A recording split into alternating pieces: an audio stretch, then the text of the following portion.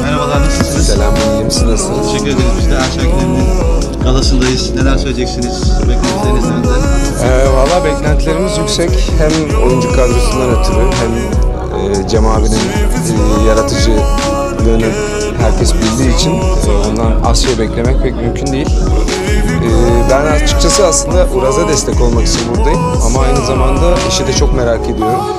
E, gülmeye ihtiyacımızın olduğu zamanlardayız. O yüzden e, benim için güzel bir etkinlik. Siz düşünüyorsunuz? Ben dizi koşturmasındayım hala. Ee, dizi set temposunda devam ediyorum yani. Pek bir şey yapmaya zaman kalmıyor zaten. Dizide geç, ilerleyen haftalarda final yapacağız. Yaz da geliyor. Projeler devam edecek mi yoksa biraz dinlenme sürecine girecek mi ekibimiz? Ya açıkçası çalışmak istiyorum ama en azından kısa da olsa bir süre dinlenmeye ihtiyacım var.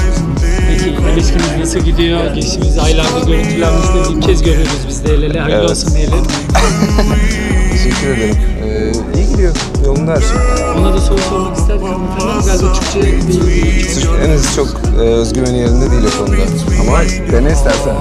Hayırlı olsun. Çok yakışıyor sana. Mutluluklar dileriz.